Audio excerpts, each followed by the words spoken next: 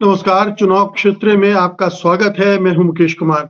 दोस्तों, उत्तर भारत में राजस्थान के बाद हरियाणा एक ऐसा राज्य है जहाँ बीजेपी सबसे ज़्यादा संकट में है। पिछली बार उसने यहाँ सभी दस सीटें जीत ली थी, मगर इस बार हालात बदले हुए हैं। केंद्र और राज्य दोनों सरकारों के खिलाफ ज़बरदस्त सत्ता विरोधी लहर है। किसान तो गुस्से में उबल रहे ही हैं। नौजवानों में भी कुछ कम नाराज़गी नहीं है। बीजेपी ने इस सत्ता विरोधी लहर की काट के लिए मुख्यमंत्री बदल डाला है और अपने उम्मीदवारों में भी बड़े बदलाव किए हैं। उसके छह प्रत्याशी तो दल बदलू ही हैं। कुछ तो ठीक चुनाव के पहले ही पार्टी में शामिल हुए हैं, लेकिन ऐसा लगता है कि बात बन नहीं रही है। इस बार तो नाराज़गी केवल राज्य के नेतृत्व के खिलाफ ही नहीं है, बल्कि केंद्रीय नेतृत्व यानी नरेंद्र मोदी के भी खिलाफ है। हिंदुत्व की राजनीति यानी सांप्रदायिकता फैलाने की कोशिशें भी असर करती नहीं दिख रही हैं। रोज़गार और महँगाई के सवाल जनता को सबसे ज़्यादा मत रहे हैं। कांग्रेस ने इस बार सोच समझकर उम्मीदवार चुने हैं। वो नौ सीटों पर चुनाव लड़ रही है, जबकि तीन से पाँच सीटों पर भारी दिखलाई पड़ रही है। एक सीट उसने आम आदमी पार्टी के लिए छोड़ी है और वहाँ भी बीजेपी को तगड़ी चुनौती मिल रही है। सवाल उठता है कि ये सत्ता विरोधी लहर क्या गुल खिला सकती है? क्या मोदी शाह प्रत्याशियों में बदलाव के ज़रिए इसकी काट करने में कामयाब हो पाएँगे? दस में से कितनी सीटें वे अंततः बचा पाएँगे? वरिष्ठ पत्रकार जगदीप संधू, जिनकी हरियाणा की राजनीति पर गहरी पकड़ है, इस समय हमारे साथ जुड़े हुए हैं। तो आइए उनसे इस पूरे हरियाणा के जो चुनावी संग्राम है, उस पर बात करते हैं। जगदीप जी, कार्यक्रम में आपका स्वागत है। शुक्रिया। पहले तो ये बताइए कि जो स्थितियाँ बनी हैं हरियाणा में चुनाव के जो समीकरण बने हैं उम्मीदवारों की घोषणा के बाद और अब प्रचार भी धीरे धीरे वहाँ पर रफ्तार पकड़ रहा है क्या लग रहा है क्या स्थितियाँ हैं कितनी फाइट दे पा रही इस बार कांग्रेस क्योंकि दस की दसों सीटें बीजेपी के पास थी। हरियाणा में कांग्रेस की सूची आने के बाद प्रत्याशियों की सूची आने के बाद अब चुनाव यहाँ थोड़ा गर्म होने लगा है और चुनाव में गंभीरता बनी है। और जिस तरह से चुनाव में कांग्रेस ने अपने प्रत्याशियों को उतारा है, ये कांग्रेस के पक्ष में एक सकारात्मक दृष्टिकोण लोगों में उतरा है और, जितने कैंडिडेट यहाँ अब कांग्रेस ने सामने किए हैं वो एक तरह से अपने अपने क्षेत्रों में सशक्त दावेदारी दिखाने लगे हैं, उत्पन्न कर सकते हैं। वर्तमान परिस्थितियों में जो धरातल पर अभी विरोध की लहर चल रही है, जो भारतीय जनता पार्टी के विरोध में, जिस प्रकार से सामान्य समाज के सामान्य वर्ग, जिनमें कृषक वर्ग, जिनमें कामगार वर्ग, जिनमें कर्मचारी वर्ग, जो पेंशनधारी स्कीम के लिए संघर्षरत हैं, जिनमें सफ़ाई कर्मचारी, जो अलग अलग शहरों में संघर्षरत हैं, और जो युवा वर्ग है, क्योंकि हरियाणा में आपको मालूम है कि बेरोजगारी का क्या आलम है, और उसके अलावा फिर जो एक महिला अस्मिता की जो बात है, वो मुद्दे यहाँ धरातल पे बहुत मुखर हैं, और उनको लेकर, ये सभी मुद्दों को लेकर लोगों में काफ़ी रोष है, और ऐसा लग रहा है कि अभी चुनाव काफ़ी गर्म होगा और काफ़ी सीटों पर भारतीय जनता पार्टी को कड़े मुकाबले में आना है और कड़ा मुकाबला देखना पड़ेगा। लेकिन कुछ सीटें ऐसी दिखाई देने लगी हैं कैंडिडेट की वजह से, जहाँ कांग्रेस के पक्ष की लहर और कांग्रेस के पक्ष की संभावनाओं पे बड़ी सशक्त तरीके से लोग व्यक्त करने लगे हैं, जिनमें सिरसा की सीट कह लीजिए, जिसमें रोहतक की सीट को माना जाता है, जिसमें अंबाला की सीट को बोला जाता है, ये तीन सीटें अभी से लग रहा, लगने लगा है कि ये कांग्रेस के और झुक गई हैं। उसके अलावा जो अन्य चार सीटें हैं, उनमें भी बहुत कड़ा मुकाबला है, जिनमें भिवानी की सीट में प्रत्याशी, नए प्रत्याशी को लेके आना, कांग्रेस के द्वारा रावदान सिंह को, और फरीदाबाद की सीट में प्रत्याशी को लेके आना, महेंद्र प्रताप को और सतपाल महाराज को सोनीपत में लेके आना और चौथी सीट करनाल की है, जहाँ एक युवा नेता को पंजाबी समुदाय से कांग्रेस ने खड़ा किया है, दिव्यांशु। और लगने ऐसा लगा है कि ये सारी चारों सीटें भारतीय जनता पार्टी को कड़ा मुकाबला देने वाली हैं और इसमें भारतीय जनता पार्टी की जो रणनीति है वो कितनी कारगर हो पाएगी, ये समय तय करने वाला है। और बहुत जल्दी इन सीटों पे रुझान, लोगों का रुझान या स्थितियाँ साफ़ हो जाएँगी करीब लगभग एक एक हफ़्ते के अंदर अंदर। जी, जगदीप जी, अब हम चाहते हैं कि एक एक सीट पर थोड़ा आप रोशनी डालें। मसलन आप कुरुक्षेत्र से शुरू कर सकते हैं, जहाँ की बीजेपी ने नवीन जिंदल को खड़ा किया है, जो कि पूर्व कांग्रेसी हैं। और नवीन जिंदल को ठीक चुनाव के पहले पार्टी में शामिल करके और यहाँ से टिकट दिया गया है। इस चुनाव क्षेत्र पे क्या स्थिति है? क्या नवीन जिंदल का गढ़ है एक तरह से ये? क्या उनको चुनौती किस तरह की मिल रही है? नहीं मिल रही। देखिए नवीन जिंदल के बारे में जब से नवीन जिंदल भारतीय जनता पार्टी में आए हैं उनकी अपनी जो एक साख और एक छवि थी उसको गहरा धक्का लगा। मतदाताओं की नज़र में नवीन जिंदल को बड़ा स्ट्रॉन्ग कैंडिडेट कांग्रेस के लिए माना जाता रहा है, लेकिन जब ये भारतीय जनता पार्टी में इन्होंने अपना प्रवेश किया और ये डिक्लेयर हुआ तो लोग बहुत अचंभे में थे, अचरज में थे और उनको ये किसी तरह से लग रहा था कि शायद भारतीय जनता पार्टी के उम्मीदवार के तौर पे नवीन जिंदल को वो स्वीकार उस तरह से नहीं कर पा रहे जैसे उन्होंने कांग्रेस के समय किया था।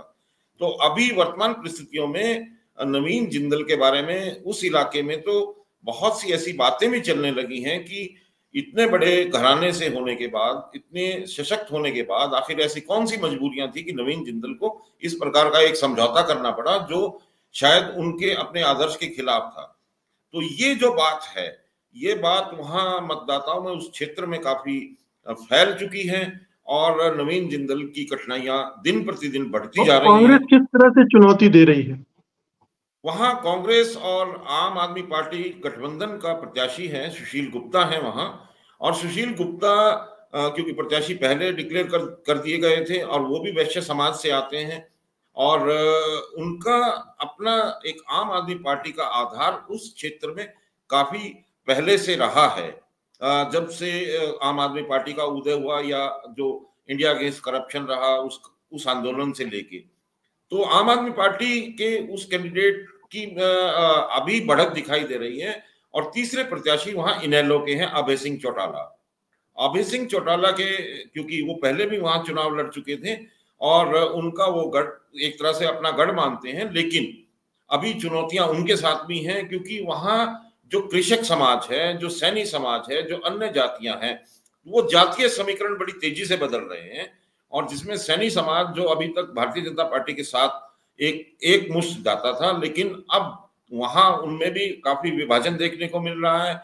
उसके बाद कृषक समाज की जहाँ तक बात करें तो किसान आंदोलन पहला वाला भी और दूसरे वाले में भी आ, हम कह सकते हैं कि वहाँ का जो किसान वर्ग है वो बिल्कुल उनके विपरीत है विरोध में है। और वहाँ इनके लिए सबसे बड़ी कठिनाई उस किसान वर्ग को आ, अपने साथ लाने की होगी जो बिल्कुल असंभव सा लगता है। तो आ, कुल मिला के अगर कहें तो, तो आज तो ये तिकोना मुकाबला है। इस तिकोने मुकाबले में अभय चौटाला तीसरे नंबर पे हैं और वो किसका नुकसान कर सकते हैं किसका फ़ायदा कर सकते हैं? देखिए अभय चौटाला जी के बारे में उनके बारे में अगर बात करें तो वो जिस तरह से उनके जो लेगेसी है उनकी जो विरासत है जो राजनीतिक विरासत है उसको लगभग नकार दिया गया है पूरे हरियाणा में।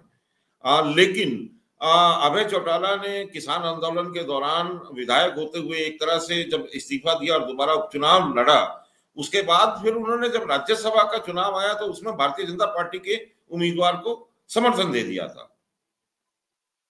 तो ये जो चीज़ है ये जो बात है ये भी लोग जानते हैं बड़े अच्छे से कि ये किसी तरह से अगर कर रहे हैं तो भारतीय जनता पार्टी के समर्थन में कर रहे हैं तो इसलिए लोग समझते हैं और आज के दिन मतदाता बहुत जागरूक है। तो वो अपना संघर्ष कर तो रहे हैं, लेकिन वो ज़्यादातर वोटें अगर करेंगे तो वो उनके पक्ष की हैं और थोड़ा बहुत नुकसान होगा तो वो आम आदमी पार्टी और कांग्रेस का जो संयुक्त प्रत्याशी है, उसके लिए हो सकता है। लेकिन ये एक बड़ी कॉन्स्टिट्युएंसी है। इस बड़ी कॉन्स्टिट्युएंसी में अगर मान लीजिए पचास, साठ, सत्तर हज़ार वोट अगर इधर से उधर होते भी हैं तो वो क्योंकि नवीन जिंदल, भारतीय जनता पार्टी में जिस प्रकार से आए लोग वहाँ उनको स्वीकार नहीं कर रहे तो वो ऑलमोस्ट बराबर की स्थिति में रहेंगे लेकिन अभी हाल फ़िलहाल संयुक्त जो प्रत्याशी हैं वो आगे दिखाई दे रहे हैं। जी और सिरसा अगर देखें शैलजा यहाँ से खड़ी हुई है कांग्रेस की और अशोक तंवर जो पूर्व कांग्रेसी हैं वो हैं मतलब दो कांग्रेसी मुकाबला कर रहे हैं एक दूसरे से। अशोक तंवर जी का तो शुरू दिन से ही काफ़ी विरोध है और अशोक तंवर जिस तरह से उनकी राजनीतिक यात्राएँ अलग अलग पार्टियों में रही वो सब लोग जानते हैं। और मतदाता इस क्षेत्र में जब वो यहाँ से सांसद भी रहे और हरियाणा प्रदेश के अध्यक्ष भी रहे तो उनकी कार्यशैली से लोग खुश नहीं हैं ये सब जानते हैं। और आज के दिन स्थिति हरियाणा में अगर सीट की बात करें तो एक तरफा सीट अभी कांग्रेस के पक्ष में कुमारी शैलजा के पक्ष में झुकी हुई है। ये बहुत साफ़ दिखाई देता है। क्योंकि जो सिख समुदाय है, वो एक तरह से इनके साथ है, उसके बाद कम्बोज समुदाय है, या दूसरे जो अन्य जातियाँ हैं। और आपको बता दूँ कि यहाँ बहुत बड़ा वर्ग है, करीब साढ़े छह लाख के करीब जो अनुसूचित जाति का समुदाय है, वो अभी शैलजा जी के पक्ष में मुखर हो गया है। और ऐसा स्पष्ट संकेत दिखने लगे हैं कि वो एक तरफा उनकी तरफ़ जा रहा है। जी। गुरुग्राम या गुड़गांव में फिर एक पूर्व कांग्रेसी है, राव इंद्रजीत सिंह। वहाँ मुकाबला कैसा है? गुरुग्राम में देखिए, एक चीज़ कही जा सकती कि राव इंद्रजीत सिंह के अगर हम पूरे राजनीतिक इतिहास को देखें तो राव इंद्रजीत ने कभी भी जब भी वो जीते हैं, वो लहर के समय में जीते और लहर के समय ही उन्होंने अपने आप को आगे रखा है। और अगर अवसर मिला है तो उन्होंने अपने अवसर को भुनाया भी है। अब वर्तमान में जो परिस्थितियाँ हैं, उन परिस्थितियों में राव इंद्रजीत के बारे में ऐसा माना जाता है कि वो चुने जाने के बाद अपने पूरे क्षेत्र में लोगों का हाल जानने तक नहीं पहुँचे और उनके प्रति लोगों में एक तरह की निराशा है, एक तरह का असंतोष है। और जो वहाँ के स्थानीय समीकरण हैं, उनमें कांग्रेस का प्रत्याशी आने के बाद एक तरह से चुनाव की दिशा तय हो जाएगी लेकिन कांग्रेस ने अपना प्रत्याशी अभी वहाँ डिक्लेयर नहीं किया और उन पे मंथन चल रहा है। और जहाँ तक ये लगता है कि कांग्रेस जब जिस दिन वहाँ डिक्लेयर कर देगी उस दिन वहाँ के चुनाव के बारे में हम स्पष्ट तौर पे ये आकलन कर पाएँगे कि अब स्थितियाँ क्या हैं। ठीक उसी तरह से जैसे फरीदाबाद में है। फरीदाबाद में अचानक से ही आ, ऐसा लगने लगा है कि जो कांग्रेस के कैंडिडेट हैं जो महेंद्र प्रताप जो जीत, जो चुनाव ही नहीं लड़ना चाहते थे और जो पिछले पाँच वर्ष बार के विधायक भी हैं और जो अपने बेटे के लिए प्रयास कर रहे थे, लेकिन कांग्रेस ने जब उनको उतारा, वो एक कद्दावर नेता हैं और जिस तरह से जो कृष्णपाल गुजर गुजर हैं, उनके प्रति लोगों का जो एक असंतोष है, वो बहुत मुखर है और वहाँ के दो विधायक तो बहुत सार्वजनिक मंच पे उनके विरोध की बात कर चुके हैं और उनपे किसी तरह के भ्रष्टाचार के भी उन्होंने आरोप लगाए हैं, उन्हीं की अपनी पार्टी के। और उसके अलावा अगर भारतीय जनता पार्टी के जो स्थानीय लोग हैं, स्थानीय जो कार्यकर्ता हैं, नेता हैं, वो भी कृष्णपाल गुर्जर से उस तरह से प्रसन्न नहीं है, क्योंकि उनके उतने कामों के लिए उन्होंने सांसद साहब ने कोई ज़्यादा इनिशिएटिव लिए नहीं। तो इस प्रकार से उनकी अपनी भीतरघात भी है और जो एक बड़ा वर्ग, किसान किसान वर्ग है, वहाँ साढ़े चार लाख के करीब जाट वोट हैं उस सारे क्षेत्र में। और पलवल से लेके पूरा क्षेत्र जो है वो किसानी पे निर्भर है। तो आक्रोश वहाँ भी है किसानों का ग्रामीण क्षेत्रों में। तो ये भी सीट भारतीय जनता पार्टी के लिए बहुत कठिन सीट होने जा रही है। जी तो क्या रोहतक में क्या दीपेंद्र सिंह हुडा की इस बार जीत संभव है? पिछली बार बहुत कम अंतर से हारे थे वो अरविंद शर्मा से। जी।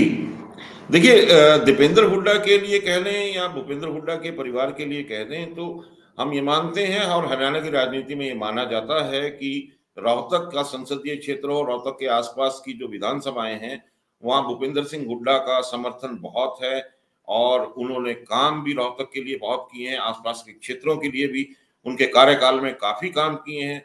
और अगर कहें तो जब से वो मुख्यमंत्री बने, उन्होंने रोहतक की शहर की और आसपास के जो कस्बे हैं उनकी तस्वीर बदल दी। आसपास के क्षेत्रों में जो काम हुए वहाँ की भी तस्वीर बदली है। बहुत अच्छा काम किया गया उनके कार्यकाल में। इसलिए उनका समर्थन भी बहुत है और उन्होंने बहुत से लोगों सबसे बड़ी बात है कि भूपेंद्र हुड्डा की विनम्र छवि के चलते आ, उनको हमेशा लोगों में एक सम्मान भी मिला है और उनकी बात को माना भी जाता है। पिछली बार जिस तरह से भारतीय जनता पार्टी पुलवामा की लहर में रोहतक की सीट पे अरविंद शर्मा जीते थे। और अगर उसमें भी कहा जाए तो आप देखिए कि सबसे लेट उसका परिणाम आया था देर रात तक। और उसमें भी आरोप यही लगते रहे हैं कि वो जो चुनाव है उसमें किसी तरह के किसी तरह के प्रयोग ऐसे हुए हैं जिनमें उनको हार का सामना देखना पड़ा। लेकिन वो अभी साबित नहीं हुआ, कोई कोर्ट नहीं गया, वो अलग बात है। लेकिन जहाँ तक अब की बात है अब वर्तमान परिस्थितियों में रोहतक की सीट आ, के लिए भारतीय जनता पार्टी की आस बहुत कमज़ोर है और अब वहाँ ऐसा दिखाई देने लगता है कि जो लोगों का जन समर्थन है वो दीपेंद्र हुड्डा के पक्ष में काफ़ी है।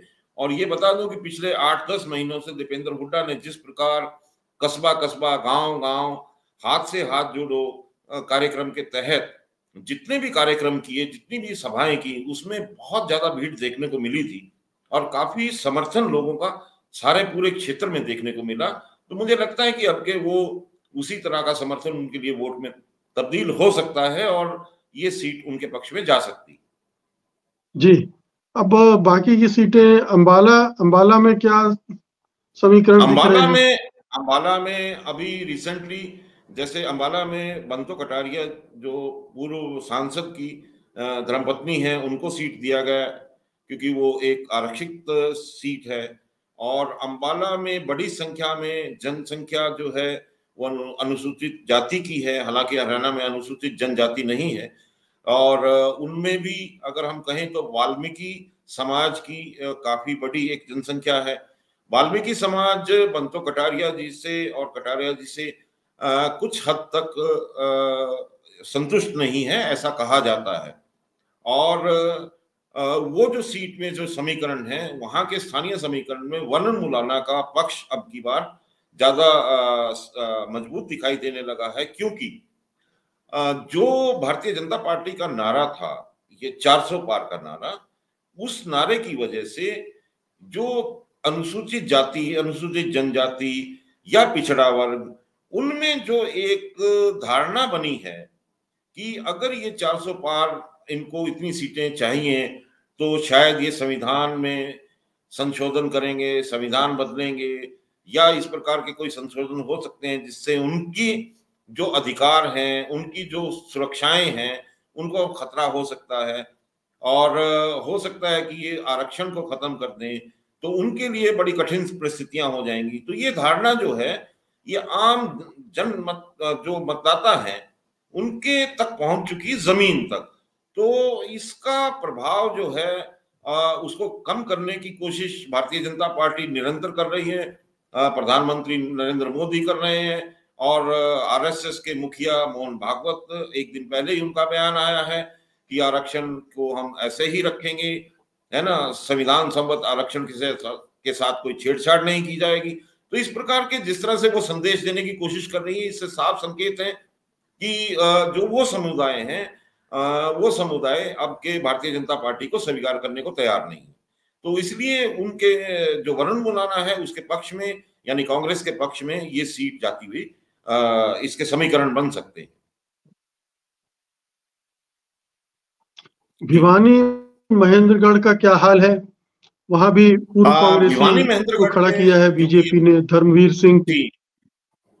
देखिए भिवानी महेंद्रगढ़ में जब तक कांग्रेस ने अपने कैंडिडेट की घोषणा नहीं की थी तब तक ऐसा लगता था कि धर्मवीर सिंह एक सशक्त उम्मीदवार है और ये एक सेफ़ सीट मानी जाती थी भारतीय जनता पार्टी के लिए।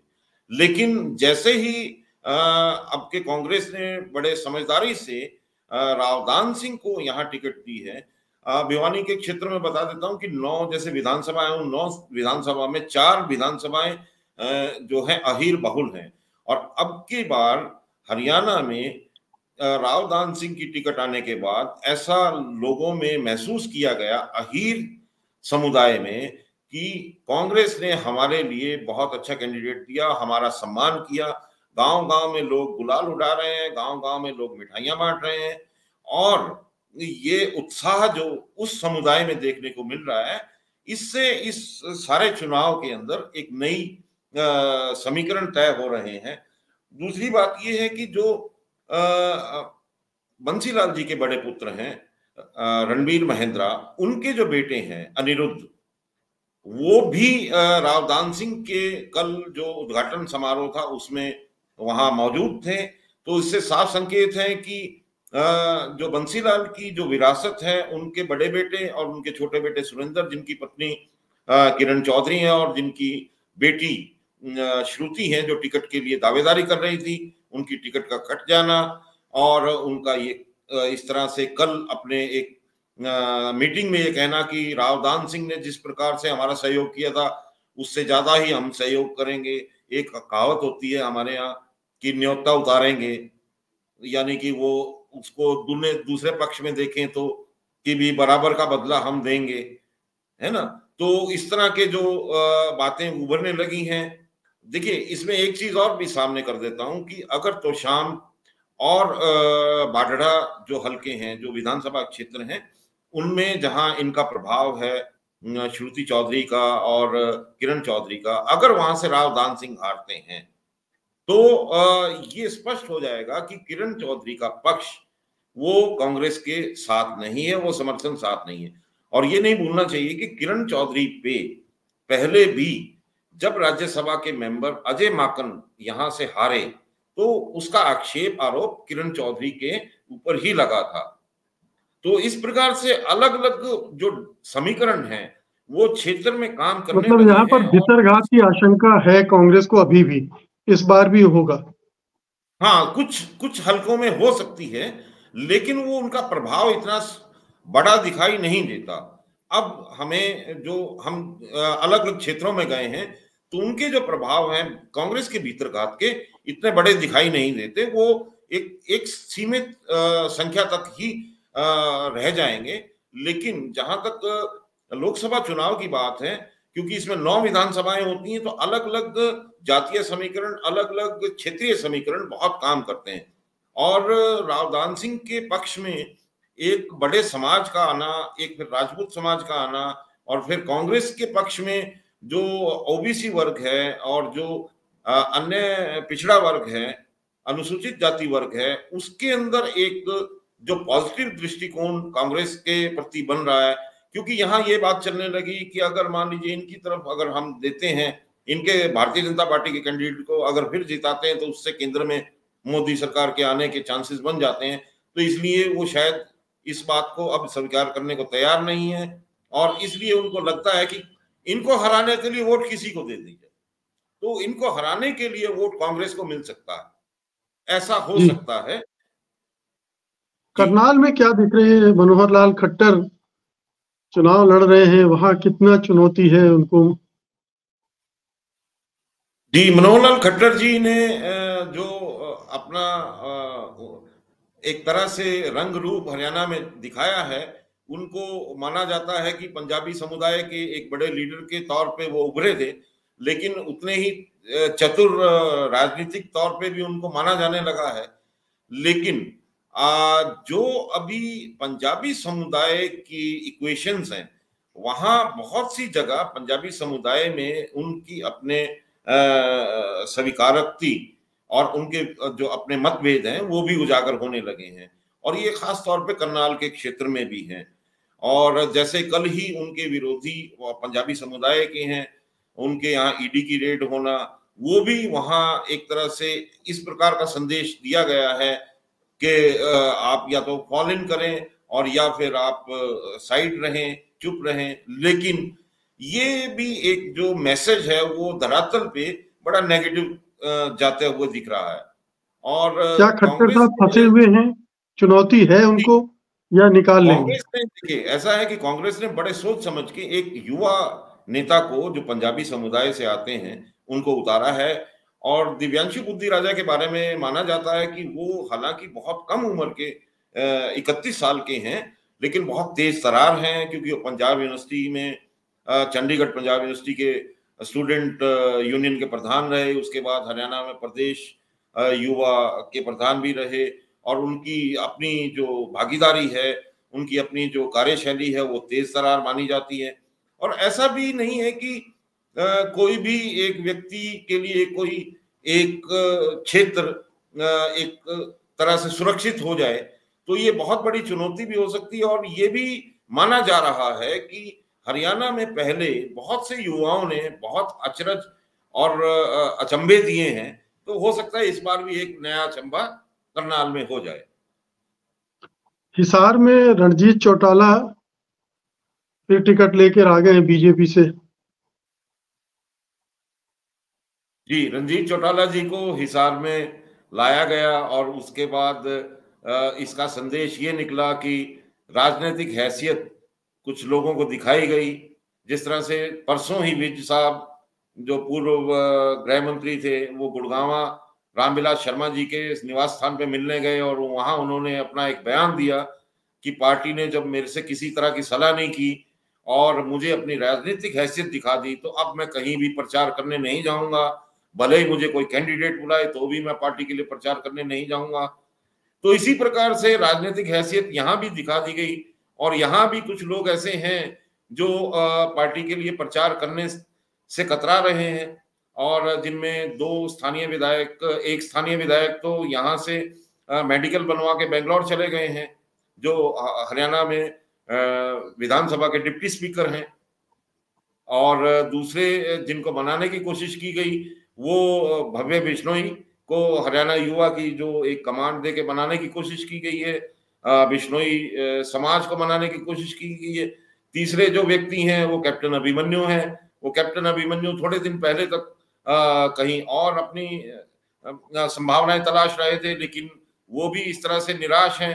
तो यहाँ भारतीय जनता पार्टी की भीतर घात कुछ ज़्यादा दिखाई देती है और यहाँ सबसे बड़ी चुनौती इनको भारतीय जनता पार्टी को अपने ही भीतरघात से है। दूसरी सबसे बड़ी चुनौती ग्रामीण क्षेत्रों में जिस प्रकार से विरोध दुष्यंत रणजीत चौटाला का हो रहा है, वो सबसे बड़ा है। तीसरी बात यहाँ ये है कि लोगों में एक बात आ गई है कि क्या सिर्फ़ चौटाला परिवार ही राजनीति में रहेगा? क्योंकि यहाँ से दुष्यंत चौटाला की माता जी और अभय चौटाला जो उन, उनकी पार्टी से नैना, सुनैना चौटाला वो भी मैदान में है। तो एक परिवार से तीन लोग यहाँ मैदान में हैं। तो वो एक बात जो है सभी के मन में आ गई कि ऐसा तो नहीं होना चाहिए कि भी एकाधिकार किसी एक परिवार का हो जाए। तो इसलिए कांग्रेस के पक्ष में जो जयप्रकाश को टिकट मिली विजेंद्र जी की यहाँ से टिकट कटी जो सांसद थे, और अब जयप्रकाश को मिली। जयप्रकाश पहले भी सांसद रह चुके हैं हरियाणा से। एक तेज तरार नेता माने जाते हैं, भूपेंद्र सिंह हुड्डा के गुट के माने जाते हैं। तो देखना होगा कि भूपेंद्र हुड्डा का प्रचार और इन सब कांग्रेस का आपस में जो एक जुटता है वो कितना इनको सशक्त करती है, लेकिन अभी ये जो स्थितियाँ हैं, उसमें एज जो है, वो भारतीय भारतीय जनता पार्टी को दिखाई बिल्कुल भी नहीं दे रहा। वो कांग्रेस की तरफ़ ही कहीं एज दिखाई देते, देने लगा है, और ये मुकाबला बहुत कड़ा होगा। जगदीप जी, अब मैं आपसे बिल्कुल दो टूक पूछ रहा हूँ। दस सीटें हैं हरियाणा की। उसमें से कितनी ऐसी सीटें हैं जो बीजेपी की तय हैं? ये तो निकाल ही लेगी बीजेपी। देखिए अभी ये कहना बिल्कुल असंभव है कि बीजेपी मतलब कोई भी एक सीट ऐसी नहीं है जो क्लियर है। देखिए अभी तक ये माना जाता है कि एक ही सीट है करनाल की जो पूर्व मुख्यमंत्री मनोहर लाल खट्टर की है जो निकाल लेंगी और दूसरी सीट ऐसी मानी जाती है जो गुड़गावा की है जिसको बीजेपी निकाल लेगी जो बीजेपी की सेफ़ सीटें मानी जाती लेकिन एक धरातल पे जो स्थितियाँ देख रहे हैं और जिस प्रकार का रोष हम देख रहे हैं और जिस प्रकार ये चुनाव की हवा बह रही है, उसमें ये कहना बिल्कुल भी असंभव है कि वह कितनी सीटें कौन निकाल लेगा। लेकिन ये ज़रूर है कि यहाँ कौन, किन सीटों पे कौन आगे दिखाई देने लगा है, उसके आकलन हम ज़रूर बता सकते हैं। और उसमें आप, मैं कह सकता हूँ वर्तमान में कि दो सीटों पे ये संभावनाएँ हैं जो अभी तक बनी हुई है, वो भारतीय जनता पार्टी के लिए है। बाकी सीटों पे अगर मैं कहूँ तो जिसमें सिरसा है, अंबाला है और रोहतक है, उसमें साफ़ तौर पे वो सीटें कांग्रेस की तरफ़ बढ़त बनती हुई दिख रही है और बाकी जो एक कुरुक्षेत्र की सीट है, वहाँ जो गठबंधन का प्रत्याशी है, वो आगे हैं। बाकी चार सीटों की अगर हम बात करें तो वहाँ लग रहा था ऐसा कि शायद वहाँ कांग्रेस कमज़ोर रहेगी, लेकिन ऐसी बात नहीं है, कांग्रेस वहाँ फिर दौड़ में है और उसमें संभावनाएँ कांग्रेस की बड़ी सशक्त होती जा रही है। मतलब मामला अभी आपके कैलकुलेशन से अगर 10 सीटों को देखें तो 50-50 पर तो है अभी। मुझे ऐसा लगता है कि शायद ये ज़्यादा चला जाएगा और अभी वर्तमान में छह सीटें हम मान सकते हैं जो कांग्रेस के पक्ष में जाती हुई दिख रही है। इंडिया गठबंधन के पक्ष में जिसमें से एक आम आदमी पार्टी का भी शामिल है। जी। तो छह चार का अभी आप आज की तारीख में ये कह रहे हैं। आगे जैसे जैसे चुनाव प्रोग्रेस करेगा स्थितियाँ और भी बदल सकती है। लेकिन हो सकती हैं।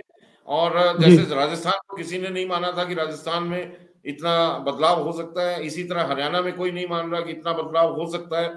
भारतीय जनता पार्टी थोड़ा आत्मविश्वास में उनको ये लग रहा है कि मोदी जी आएँगे और सारा माहौल बदल देंगे और जैसे 19 में या 14 में हुआ था, ठीक वैसा ही हो जाएगा। या और बड़े नेता आएँगे तो वो बदल देंगे। लेकिन ये मुकेश जी, साफ़ तौर पे मैं कह सकता हूँ कि अब की बार प्रदेश के जो भी नेता हैं, भारतीय जनता पार्टी के, उनका कहीं कोई प्रभाव नहीं दिखाई दे रहा। वो पूरी तरह से केंद्रीय नेतृत्व पर और मोदी जी के नाम पर निर्भर है। और मोदी जी के लिए अभी हरियाणा में वो जो स्वीकारोक्ति थी पहले वो बिल्कुल भी दिखाई नहीं देती जबकि एक तरह से कहा जा सकता है कि मोदी जी के विरोध में बहुत सा बड़ा वर्ग दिखाई देने लगा हरियाणा के धरातल पे। तो तीन चार मुद्दे हैं जो फैसला करेंगे। एक तो किसानों की नाराज़गी है दूसरा बेरोजगारी है तीसरा अग्निवीर का भी प्रभाव होगा। बहुत प्रभाव है अग्निवीर का क्योंकि जितना भी वर्ग है युवा वर्ग हरियाणा से बहुत सा यु देखिए, अग्निवीर सिर्फ़ आर्मी के लिए नहीं थी अग्निवीर में जो सुरक्षा बल हैं, बहुत से सुरक्षा बल हैं, भारत के, उनमें भी समानांतर उतनी भर्तियाँ होती थी, जिनमें आईटीबीपी कह ले सीआरपीएफ कह लीजिए इंडो टिबिटन या बीएसएफ कह लीजिए, या इंडस्ट्रियल फोर्सेस कह लीजिए तो बहुत बड़ा वर्ग है जो उन भर्तियों में, सरकारी भर्तियों में जाता था फोर्सेस में जाता था। अब वहाँ तो बिल्कुल ही सीमा हो गई है। तो ये जो एक वर्ग है अच्छा उसके बाद जब इन्होंने दुष्यंत चौटाला जब उप मुख्यमंत्री बने, उससे पहले जब ये चुनाव लड़ रहे थे तो इन्होंने एक वायदा किया था हरियाणा के युवाओं से कि हरियाणा में पिछहत्तर परसेंट के करीब का आरक्षण हम जो है, संस्थानों में रखेंगे, जो प्राइवेट नौकरी हैं। अब वो भी हल नहीं हुआ तो युवा वर्ग बहुत बुरी तरह से निराश है, कहीं कोई सुझाई नहीं दे रहा। और यहाँ से जिस तरह से पलायन हो रहा है, आपने देखा होगा पीछे के गाजा में एक युद्ध क्षेत्र में जाने के लिए जिस प्रकार से रोहतक में लंबी लंबी लाइनें लगी, वो एक तरह से दर्शाता है कि कितनी दयनीय स्थिति में युवा वर्ग है जो रोज़गार के लिए इधर उधर भटक रहा है। तो ये बहुत बड़ा मुद्दा हरियाणा में है, इसमें कोई दो राय आखिरी सवाल, ये एंटी इनकम्बेंसी को काटने के लिए कांग्रेसी प्रत्याशियों को लेकर आए, बीजेपी लेकर आई, मोदी शाह लेकर आए। क्या लोकल लेवल पर जो एंटी इनकम्बेंसी है और नेशनल लेवल पर जो एंटी इनकम्बेंसी वो दोनों मिलाकर इतनी मज़बूत है कि बीजेपी के लिए उससे जूझ पाना बहुत ही मुश्किल होगा। निस्संदेह निस्संदेह। अभी वर्तमान में भारतीय जनता पार्टी के लिए कोई समाधान उस एंटी इनकम्बेंसी का, उस विरोध का बिल्कुल भी स्पष्ट तौर पे दिखाई नहीं दे रहा और पिछले दस साल की सत्ता के बाद जो स्थानीय प्रादेशिक सत्ता है, उसमें जिस प्रकार, उसके प्रति जिस प्रकार का आक्रोश रहा धीरे धीरे जो पनपा और वो पन, विरोधी पक्ष में जो कांग्रेस समर्थक है, उनमें पनपना है, वो स्वाभाविक है। लेकिन जिस प्रकार से भारतीय जनता पार्टी के अपने समर्थक लोग जो थे, वो वर्ग, वो भी जो निराश हैं और इनके जो अपने कार्यकर्ता जो हतोत्साहित हैं वो एक बहुत विचित्र स्थिति है जो जिसका समाधान कहीं भी दिखाई नहीं दे रहा। और ये ऐसी परिस्थितियाँ पैदा कर रहे हैं जिसमें भारतीय जनता पार्टी को भारी नुकसान होने की आशंका हो रही है। बहुत बहुत शुक्रिया जगदीप जी हरियाणा की चुनावी परिस्थिति पर बातचीत करने के लिए आपका। धन्यवाद। जी शुक्रिया। जी नमस्कार। Thank you